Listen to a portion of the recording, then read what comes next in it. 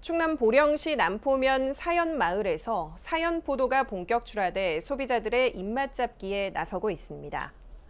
보령 구미 중 하나인 사연포도는 해풍과 강우량, 토질 등이 포도 생육에 최적의 조건을 갖춘 지역에서 재배돼 맛과 당도가 뛰어난 것으로 알려져 있습니다. 시는 사연포도가 전농약 친환경적으로 생산되고 있으며 우수 농산물 인증을 받은 고품질 포도로 소비자들에게 인기를 끌고 있다고 전했습니다.